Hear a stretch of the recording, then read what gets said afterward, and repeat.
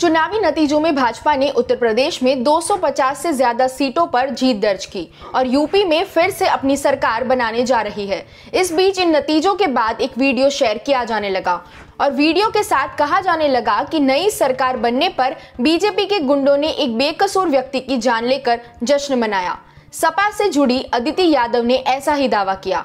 उन्होंने बाद में अपना पोस्ट डिलीट कर दिया, लेकिन डिलीट करने से पहले तक इसे छत्तीस हज़ार बार देखा जा चुका था। इस वीडियो में काफ़ी हिंसा दिख रही है, इसलिए हमने इसे ब्लर कर दिया है। कई यूज़र्स ने ये वीडियो शेयर करते हुए यूपी पुलिस को टैग किया और इस मामले पर संज्ञान लेने की बात की, लेकिन ये वीडियो यूपी का है ही नहीं। ये बिहार में तीन साल पहले हुई घटना का पुराना वीडियो है। इंडिया टुडे ने 5 अक्टूबर 2019 को इस घटना के बारे में एक खबर पब्लिश की थी।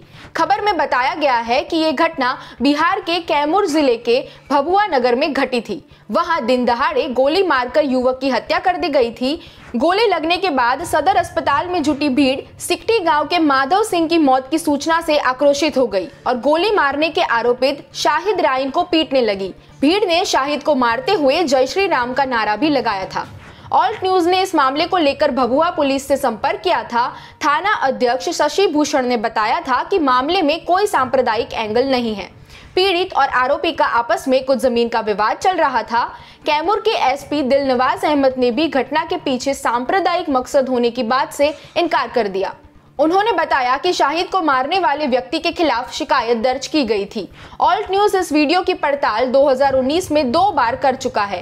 पहली बार इस घटना को हिंदू मुस्लिम एंगल देकर शेयर किया गया था और दूसरी बार ये वीडियो शेयर करते हुए दावा किया गया था कि एक कश्मीरी लड़के को आरएसएस से जुड़े लोगों ने पीटा और जय श्री राम के नारे लगाए। ये दोनों ही दावे हमारी जाँच में गलत पाए गए थे।